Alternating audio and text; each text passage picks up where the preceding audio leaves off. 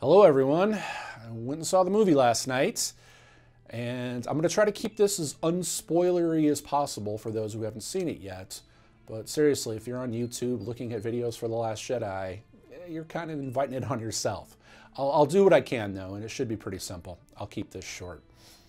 The easiest way to describe this, the simplest way to describe this new movie, is that it's different.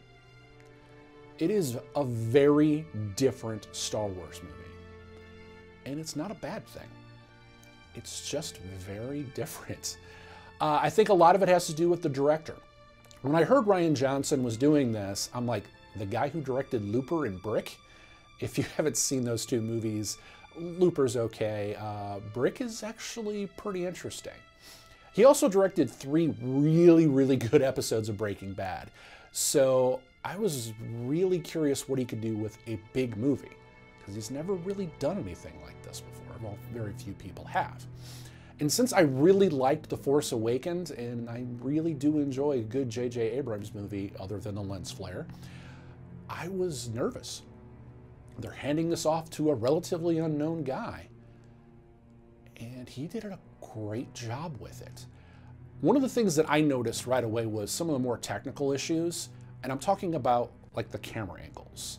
There was an honest to goodness push pull in this movie, and you don't really see that in a Star Wars movie. Uh, there was also a really cool long take that was almost very David Fincher in the technique that he used. So it felt a lot more adult. And I don't mean adult as in adult movie, I mean grown up. Like sophisticated camera angles and interesting lighting and good color contrast. That was the technical part. Really good. The story? This is the biggest difference that I noticed. Most stories, especially when you take something like The Force Awakened, it's about the setting. You have this scene and this, you know, underlying idea, and then you find characters in it. That's not how this movie worked. You have these characters, and they do stuff. But the stuff is almost unimportant. He kind of throws the plot at secondhand. The most important things are the characters. And I thought that was a really interesting way to be able to tell a Star Wars movie. Because it's usually been all about the universe and all about what's going on. And, you know, are the rebels going to survive? And is the Empire or, you know, modern modern take on the, this one, you know, the, the new Empire, as it were, the First Order, are they going to win the day?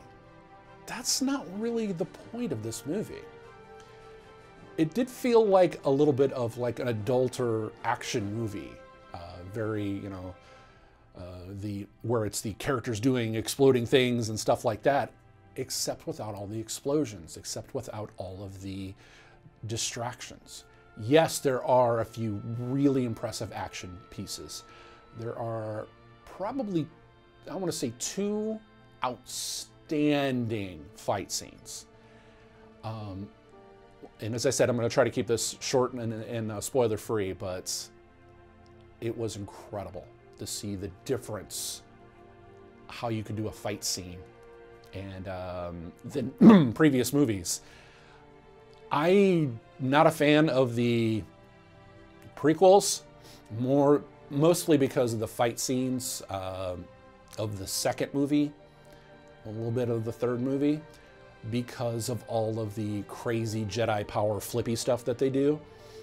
Ryan decided that we're going to make this more, dare I say, realistic and more old school, more of the, you know, the old Star Wars movies and stuff like that. And I gotta tell you, he did a really good job of that too.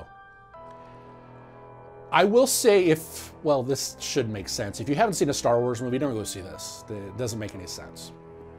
There were some great nostalgia pieces here, and uh, I thought that they really tried to pull the heartstrings, and they really did a good, I, I, a good job with that.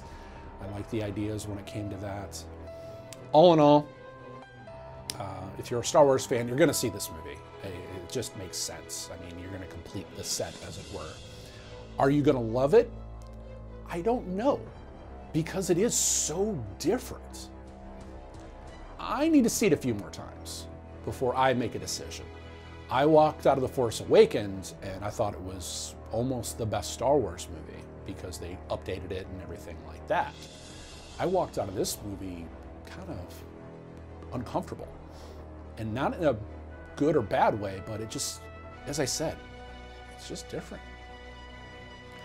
Thanks for watching this. Uh, if you want to see more videos like this, please uh, like, share, and subscribe to the channel. I've been Pure Sarcasm. Follow me on Twitter. Enjoy.